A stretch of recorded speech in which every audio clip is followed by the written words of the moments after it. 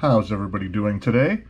Uh, I haven't made a video for a while about the Delphi case, but I thought I would change that today because there's something that I want to kind of clear up here, and that is that I don't think that Ron Logan had anything to do with this crime, despite the initial uh, FBI search warrant from March 17th, approximately a month after the crimes, back in 2017 there's a lot of people who think that Ron Logan was a good suspect. The FBI initially, uh, in their affidavit, stated they thought he was a suspect, but there's some things that don't make any sense at all.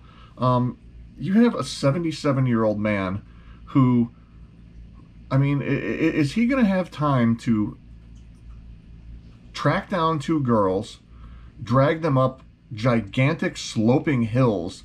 That I mean, you got to remember, Liberty German was like 180 to 200 pounds. She was not a light teenager, with all due respect.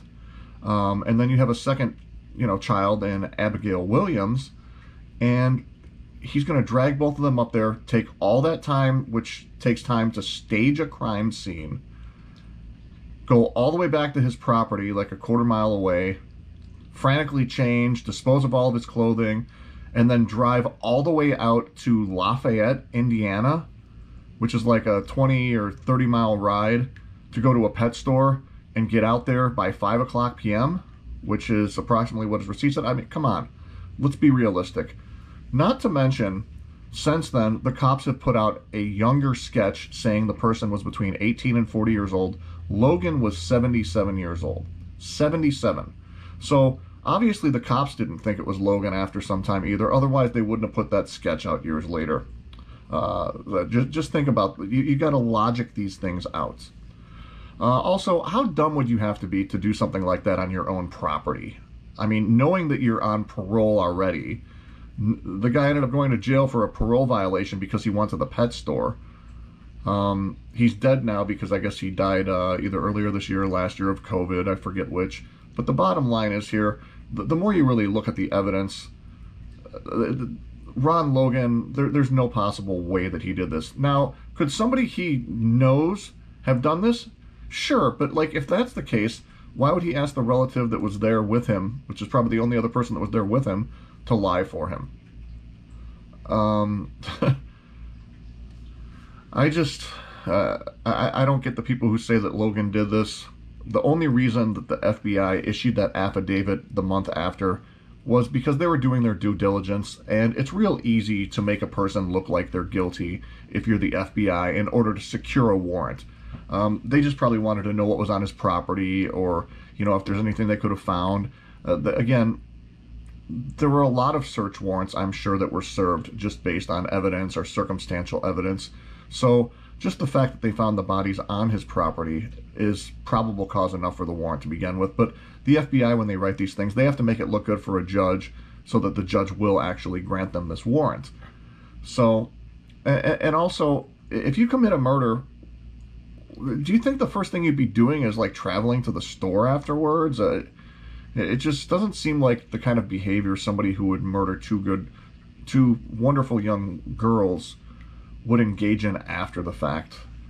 Uh, again, let alone do something like that on his own property. I mean, you'd have to be a complete idiot to do that on your own property, knowing that the night before, you know, you got all these people searching for the girls, and then the next day, uh, uh, he, I'm just, of course, they there would have been zillions of cops descending on his property, and he would have known that too. It just, again, sorry for being so long-winded.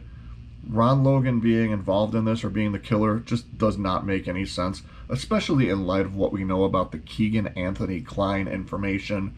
The fact that he was known to have spoken to her uh, the day prior to, or the day of, I forget which, of the murders uh, on social media. So there's a reason why, even to this day, four and a half years later, five years later, they're still going down the Kegan Kline rabbit hole and asking for people for information about that specific person and the interaction with the Anthony Shots profile.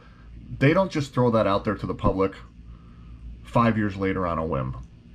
And I don't think that they leak all this information on accident either. Obviously, they wanted the public to know that they were looking at Kline for some reason. So for them to have, and again, leaks this big, like all these affidavits and other things, they don't happen if law enforcement doesn't want them to happen. Um, uh, you can see how tight-lipped the investigation's been for the last five years, how little we truly know about what happened at the crime scene. They've done a good job of kind of zipping it up. So the fact that these were, quote, leaked to the murder sheet, I, I, I just, I, I think there's a reason they're wanting us to look at the Klines, and I think that we need to kind of hone in and focus on that even more.